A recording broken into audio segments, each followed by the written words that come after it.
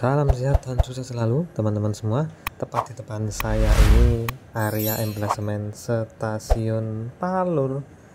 Nah infonya bakalan diperpanjang ya KRL yang selama ini stasiun pemberhentian terakhir di Solo yaitu Palur Nantinya bakal ditarik sampai Seragen kemudian sampai ke Madiun.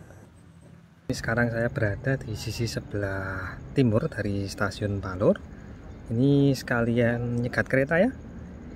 Kereta yang saya tunggu itu ada tiga nanti teman-teman. Kertanegara kemudian Argo Semeru dan pastinya Sancaka. Oke seperti apa hunting saya pada siang hari ini? Ikuti terus video saya dari awal sampai akhir.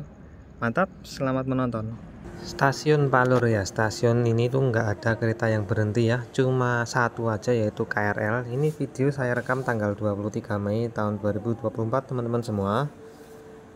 Desas-desus semakin kencangnya info bahwasannya KRL akan diperpanjang sampai ke Sragen Madiun semakin isunya semakin terdengar terus ya. Ya semoga saya harapkan terrealisasi saja ya tapi setelah saya lihat ke sini untuk tiang elalanya masih terhenti di stasiun Palu Raja.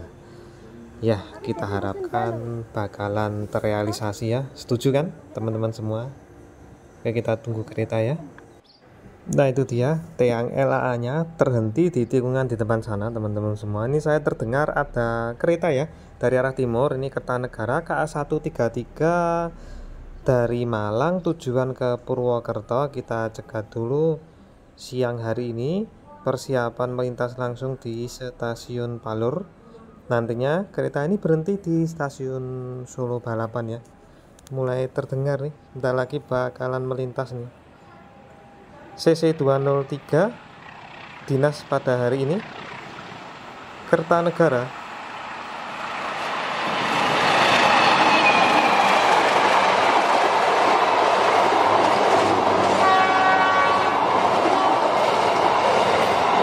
melintas langsung ke negara di stasiun Palur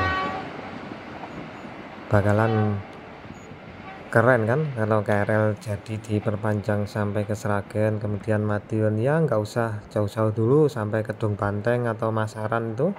Kemudian Seragen dulu nanti nyambung ke Madiun.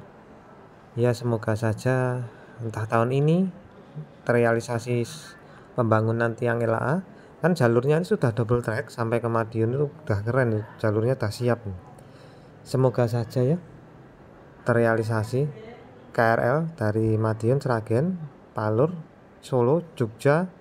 Setuju kan teman-teman semua? Karena di stasiun Palur ini yang naik KRL itu banyak banget teman-teman. Yuk nyegat kereta lagi. Stasiun Palur ya ya stasiun ini stasiun terakhir untuk KRL dari Yogyakarta menuju Solo. Sudah siap nih stasiunnya. Semoga entah pertengahan tahun ini atau akhir tahun ini mulai dibangun yuk tiang LAA sampai ya sampai Seragen dulu kan enggak apa-apa. Kemudian lanjut sampai Madiun ke depannya. Kita harapkan ya kawan-kawan semua terrealisasi. Meskipun kapannya juga belum diputuskan ya info-info terbaru ini Oke, ini nyegat lagi KA nomor 18, KA 18 Argo Semeru yang dari Jakarta Gambir hingga ke stasiun Gubeng yang ada di Surabaya. Nah, ini kereta spesial nih, teman-teman. Meskipun belum pakai rangkaian new generation, tapi Argo Semeru ya diprediksi semoga tahun ini dapat rangkaian baru. Rangkaian new generation seperti kereta Lodaya yang terakhir saya naik menuju ke Yogyakarta ya. Cek link yang di pojok kanan atas ini untuk melihat rangkaian ekonomi terbaru new generation milik Lodaya. Yang spesial nih Argo Semeru membawa kereta kompartemen yang berwarna biru itu ya.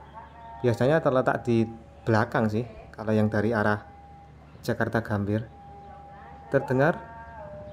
S35 persiapan melintas langsung Argo Semeru. Melintas langsung di stasiun Palur ya. Bakalan ngebut nih. Yaitu CC206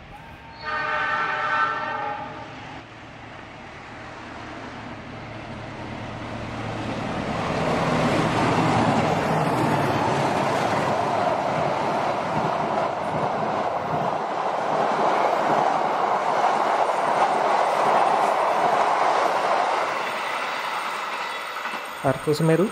Selamat melanjutkan perjalanan. Nah habis ini saya nunggu tambang Wangkai juga nih Sancaka yang dari Jog yang dari Surabaya menuju ke Yogyakarta ya. Habis ini baru nyekat King Willis ya. Oke persiapan nunggu Sancaka. Nomor KA KA99 yang dari Surabaya Gubeng. Tujuan stasiun Tugu Yogyakarta ya. Mana nih? Gemuruhnya sudah terdengar.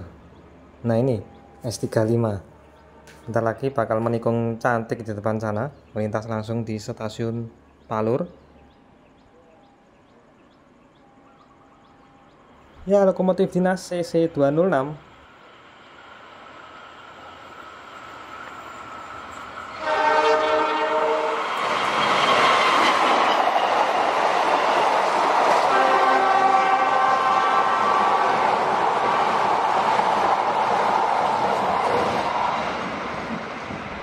Sancaka melintas stasiun Palur. Oke dekat satu lagi ya kereta ya King Willis ya Raja Jalur Selatan. Ini juga kereta yang belum dapat rangkaian kereta baru New Generation ya. Semoga tahun ini segera dapat juga ya. Biar enggak iri dengan teman-temannya mengingat dia Raja Jalur Selatan. Oke pindah tempat dulu ya nantinya teman-teman. Geser ke arah sebelah sisi kanan sana.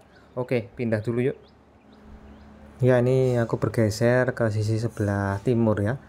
Tepat di depan tikungan sini. Itu dia kita zoom dulu teman-teman biar kelihatan bahwasanya tiang LA sudah melebihi dari stasiun Malur menikung ke sana ya. Kemudian lurus terus bakalan ketemu ya Seragen kemudian Madiun. Ini lokasi nyegat kereta atau hunting sayap menjelang sore hari ini. Ini ya di sini teman-teman. Tepat ada jalan kecil bisa kelihatan keren ya view-nya. Nggak lama nggak hunting di sini di stasiun Palur sini. Nah ini tempat saya nih ada akses kecil untuk hunting di sini. Aman safety. Nggak perlu harus turun ke depan sini ke dekat rel. Oke nyekat ya. King Willis Raja Jalur Selatan. Nyekat lagi King Willis palang pelintasan tepat di sebelah selatan dari stasiun Palur itu sudah ditutup ya. Sebentar lagi bakal lewat nih King Willis menuju ke stasiun pemerintahan terakhir yaitu stasiun Surabaya stasiun Gubeng. S35 nya sudah terdengar dari sini. Kejauhan di sana itu tikungan berbelok ke kanan melintas ke jembatan Bengawan Solo ya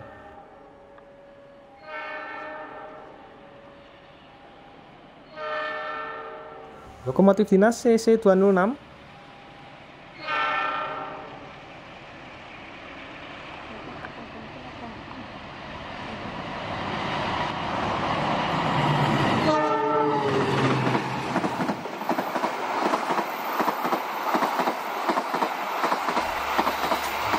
mantap. Dapat tim dari masinis Argo Willis lokomotif dinas CC206 Selamat melanjutkan perjalanan, selamat sampai tujuan di Surabaya Stasiun Gubeng. Ya, sampai di sini dulu info dari saya mengenai rumor bahwasannya tiang LAA KRL bakal ditarik sampai Seragen bahkan Madiun. Semoga segera terrealisasi. Itu tadi beberapa momen hunting saya di timurnya stasiun Palur. Terima kasih sudah menonton. Apabila videonya masih kurang bagus, mohon maaf. Sampai ketemu di video saya selanjutnya. Salam sehat dan sukses selalu. Terima kasih. Matur nuwun. Bye bye.